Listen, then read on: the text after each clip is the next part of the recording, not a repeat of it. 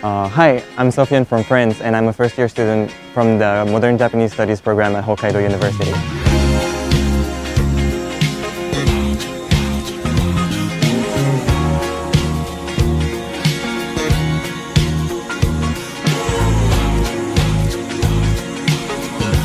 Uh, so uh, a typical day would be uh, waking up around 6.30, uh, eating breakfast and going to university uh, around 8 and then uh, I would have class for about uh, 5 hours and uh, then study for a couple of hours and probably then and hang out with friends. Hokkaido University's campus is uh, really nice. There's a lot of nature on campus. Uh, the summer is actually really nice because um, there's all, all this nature everywhere and all those trees and all those locals and tourists walking around campus. So you don't actually feel like you're um, that you're imprisoned in this like study space. You're actually in a really nice uh, green area with all these people walking their dog. I think that's a really good atmosphere to, to study. It's really relaxed and, and um, it just makes you want to be productive and have a great day and not just stay locked up inside and, and depressed.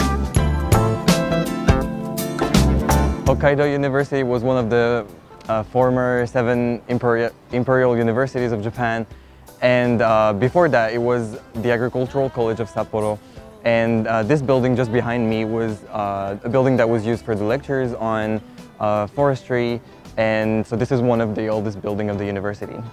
So entering Hokkaido University is not the easiest task. Uh, you have a lot of paperwork to do, a lot of doc documents to gather and you have to write four essays. Um, I had to write essays on my strengths and weaknesses, uh, academically speaking, um, writing about why I felt the program was uh, going to help me uh, for my future, um, what kind of extracurricular activities I was doing that showed my uh, that showed that I was the right person to get on the program and uh, other topics like that. Um, another advice that I would give to people expecting to come to, to Hokkaido University is um, be prepared to read a lot.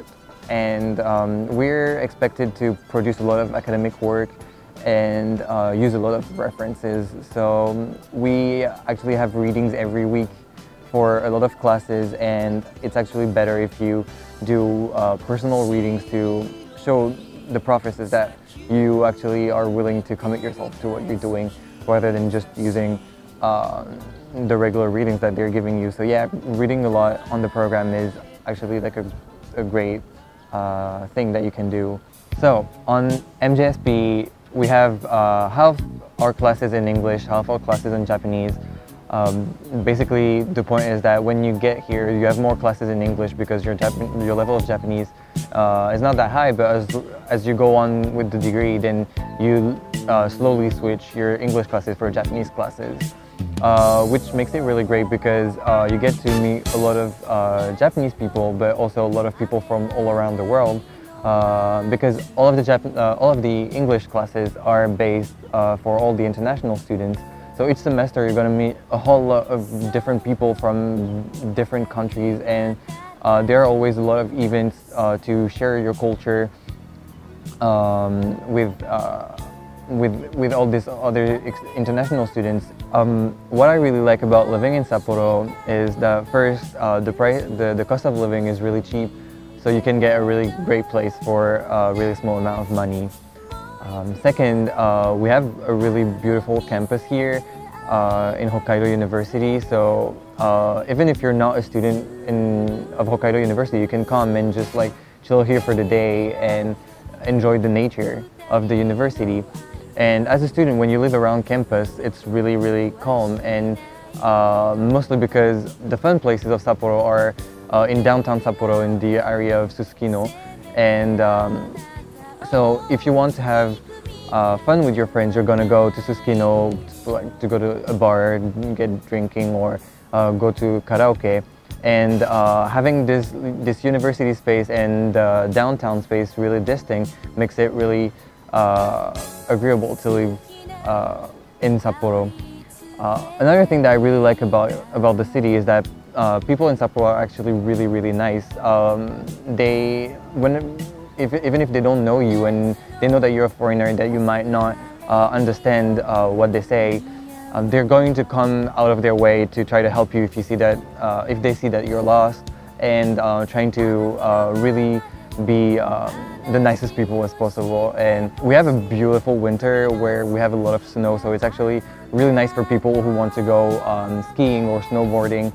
Uh, here in the summer, it actually doesn't get uh, too hot and too humid uh, compared to the rest of Japan. So it makes it, it makes it really special having uh, a long uh, winter and a really cool summer.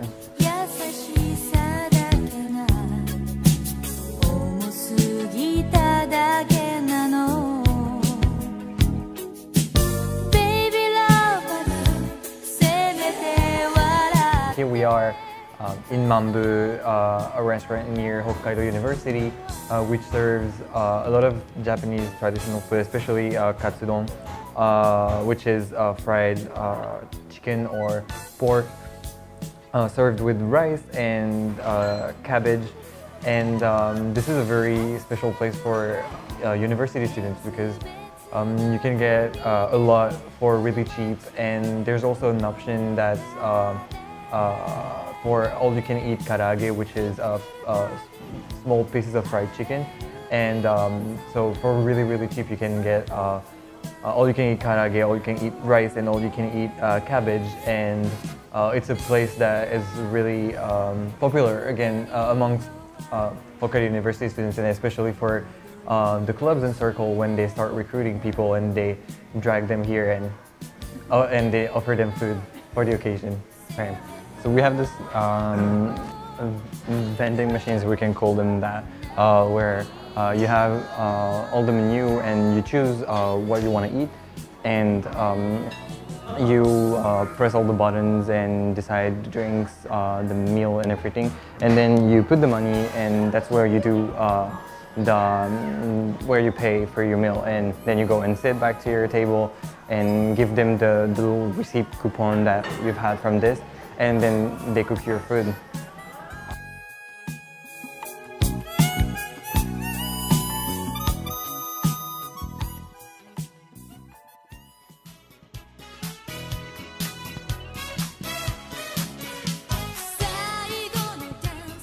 My last advice would be uh, to be open-minded.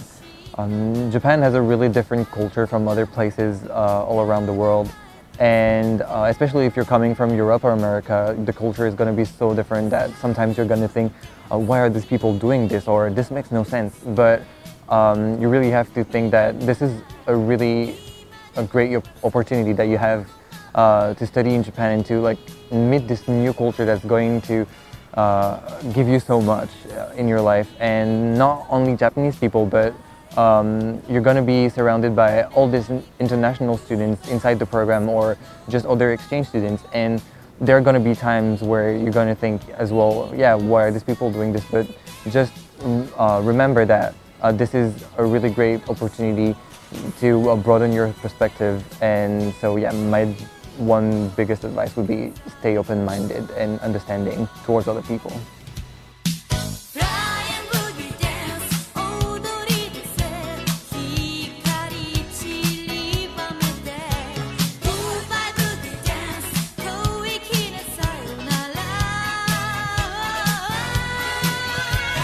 If you enjoyed watching this video and want to know more about universities around the world, please like and subscribe.